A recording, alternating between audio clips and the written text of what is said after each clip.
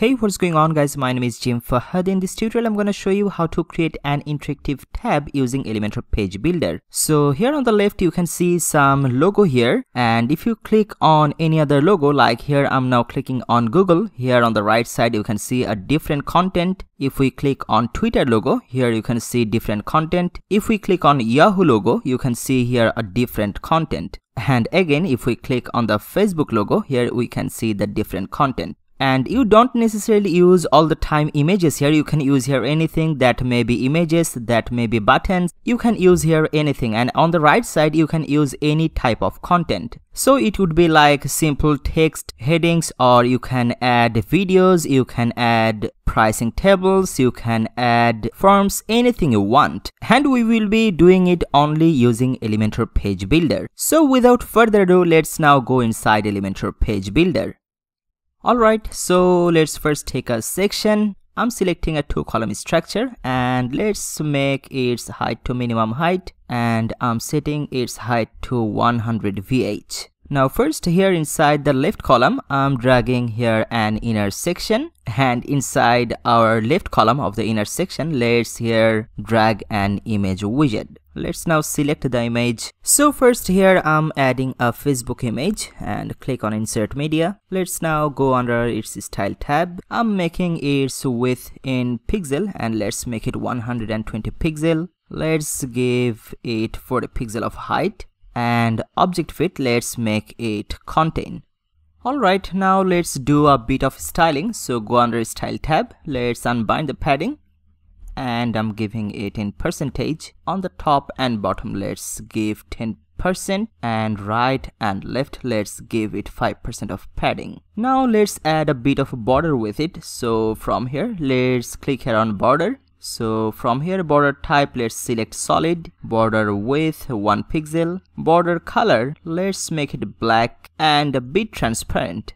And lastly I wanna add some box shadow with it. So from here first let's select the shadow color from here. Let's make it more transparent like this. I think it looks perfect because if we minimize the Elementor builder if we have a look it looks perfect. Alright now I just wanna copy and paste. So just right click over this image copy it and let's just paste inside the right column here. Now here instead of facebook i'm adding another logo. So here let's add google and then i now want to duplicate this entire inner section. So let's just duplicate it. Now let's replace this logo with another logo. So here i'm adding twitter.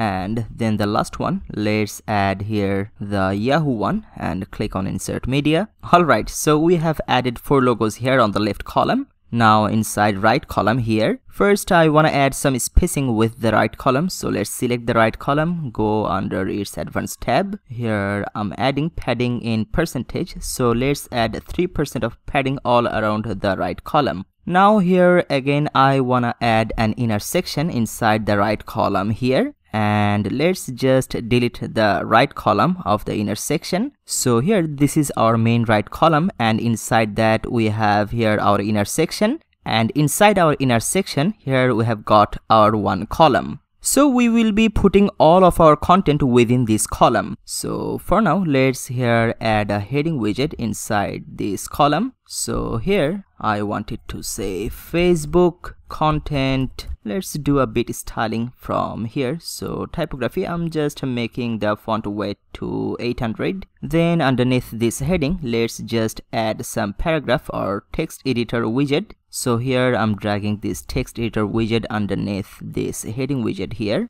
Let's add more dummy text so it would look more realistic. Alright perfect so this would be the content for this Facebook logo. Let's now create another content section for the Google and another for Twitter and another for Yahoo, you know. So to do that, just let's duplicate this inner section. So I'm duplicating this inner section by clicking on this duplicate icon. Now here instead of Facebook content, I want it to say Google content and here like I said you can add anything so here let's click on this Rubik's Cube icon now here I'm adding a video widget here. Let's now remove some text from here just to give this section a real look. Now again just duplicate this inner section.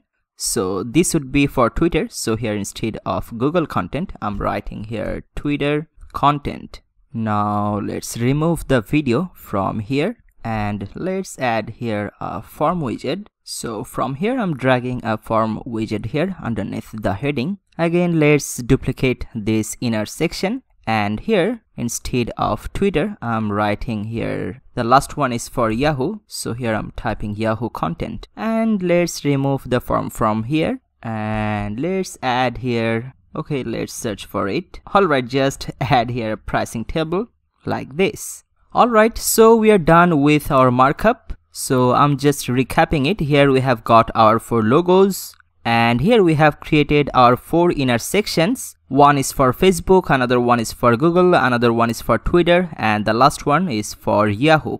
Okay so now the first thing i want to do i want to add some data attribute with all of these images. So to add the attribute just click here on this facebook logo from under its advanced tab. Let's just scroll down.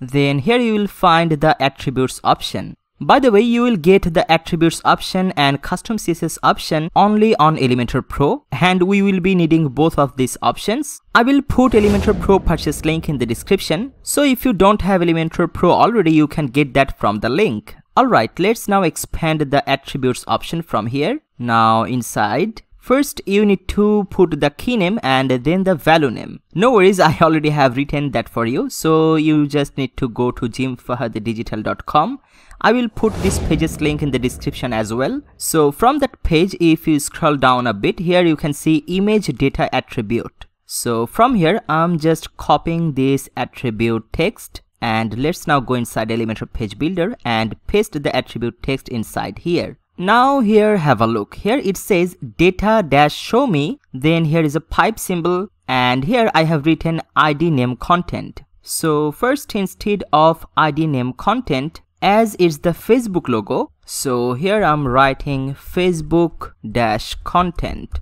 And we will be using this Facebook content as the ID name of this inner section. Not this this inner section the Facebook content section. I will show you that very shortly. For now just stand by with me. For now just remember here data show me pipe icon then it says Facebook content. So now I'm just copying this whole text and then click on the Google logo go under its advanced tab and here expand the attributes. Now here paste the text. Now instead of Facebook here I'm just typing Google. Now let's select Twitter image go under advanced tab. Now expand the attributes. Then here paste the text instead of Facebook right here Twitter.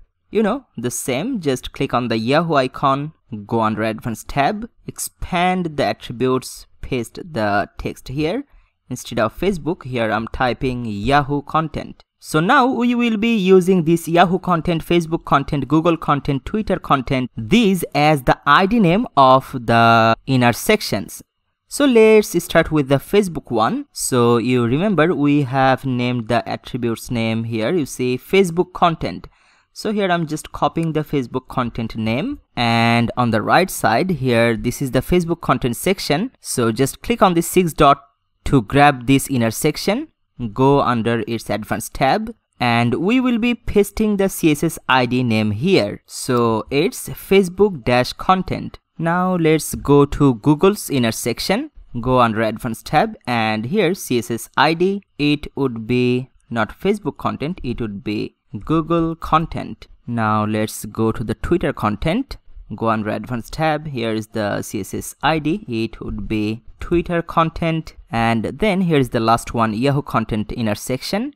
Go under advanced tab. CSS ID. It would be Yahoo content and also I want to take a common class for the Yahoo, Twitter, Google and Facebook sections that's why I will be also adding a common class with all of these. The class name will be all dash content. Okay, so let's copy the class name and let's add the class name with all of them. So here's the Twitter content. Let's paste the class name here. Also with the Google content, let's paste the class name here and also with the Facebook content let's paste the class name here as well Alright, now I will be doing a bit of custom CSS because my goal is to make all of this right inner section hide first and then when you click on Facebook only the Facebook section will appear. When you click on Google the Google section will appear you know right? So to do it first let's select this column so I'm clicking on this column icon now from under its advanced tab, let's open the custom CSS. So actually you can write it by yourself or if you want you can just go to jimfahaddigital.com and you can just copy this CSS snippet from here. But as it's very simple, so here I'm writing it by hand. So you know we have taken a common class that's name was all content. So here I'm writing first a dot, then all dash content then inside the curly braces, I'm making their display to none. So right now we can no longer see any inner section here. So first of all here I want to display one inner section at least as default. So here I'm writing here another line. So you know the name of the inner section, I mean the Facebook inner section's content ID is Facebook content. So to select ID we need to put here first a hash then facebook dash content. Now here inside the curly braces i'm making the display to block. Now you can see the facebook content here on the right side. Let me show you to make you more clarify. So here instead of facebook content if we write here twitter content now we can see the twitter content on the right side. If we write here instead of twitter let's write here yahoo we can see the Yahoo content on the right side. I hope it makes sense so far. So first of all, instead of Yahoo, I'm making the Facebook content visible by default. And then I want to make the click function by using some JavaScript snippet. But no worries because I already have written the JavaScript snippets for you. So to apply that, just click on this Rubik's Cube icon and then here I'm searching for the HTML widget. You can put the HTML widget anywhere of the page because it doesn't actually matter because we can see the HTML widget inside of the Elementor page builder but we can but we cannot see that on real website. So here I'm just dragging the HTML widget anywhere of this page.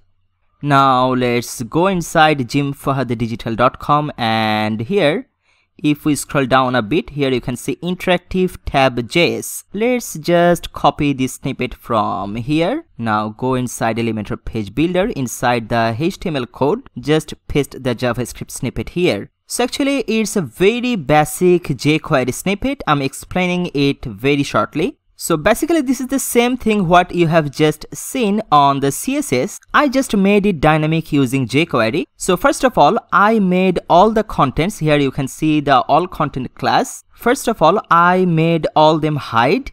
I mean, I made all them hidden. Then when you click on the specific icon, the particular section will be shown that has the same ID with its data attribute. So it's simple as it is. Alright, let's now minimize it and then click on this green update button to save our work. By the way, you cannot see them working inside of Elementor Page Builder. So to show it's working, you need to click on this preview icon. Let's just click on this eyeball icon. So from here, if we now click on Google, we can see the Google content here. If we click on Twitter, we can see the Twitter content. If we click on Yahoo, we can see the Yahoo content. Again, if we click on Facebook, we can see the Facebook content here. Cool. And lastly, if you want to add some fade-in animation with it, like if we click on Google, it's instantly appearing. But to make it look more cool, we can add some fade-in animation with it. So let's do it really quickly from inside Elementor Page Builder. So for the moment, once again, I just wanna appear all the inner section on the right side, otherwise we cannot work with that and to do that you know we just need to click here on this outer column. Just click here. Now go under its advanced tab and from here just click on custom css so here instead of display none i'm making a display block for the moment. So we can again now see all the contents. Alright now let's click this inner section from under its advanced tab here you can see the motion effects. So from here entrance animation let's make it fade in. And animation duration let's make it slow. Actually you can make it the way you want. I like the fade in and animation duration too slow. Alright, so just to do it with all the sections, I'm just right clicking here, click on copy, then just hover over on the Google content inner section, right click here and click on paste style. Let's do the same with Twitter content, right click here, click on paste style. Let's do the same with Yahoo content, right click here and click on paste style. And then let's go back to the column here. Click on the column icon. From under advanced tab let's expand the custom css then make the display block to display none like before alright and again click on this green update button to save our work and let's now preview our page so here if we now click on Google, the Google section appears with the nice fade in effect, same with Yahoo, same with Twitter. We can now see the nice fade in animation with all of it. I really like it. Okay, so as always, my main concern is it compatible with tablet and mobile devices?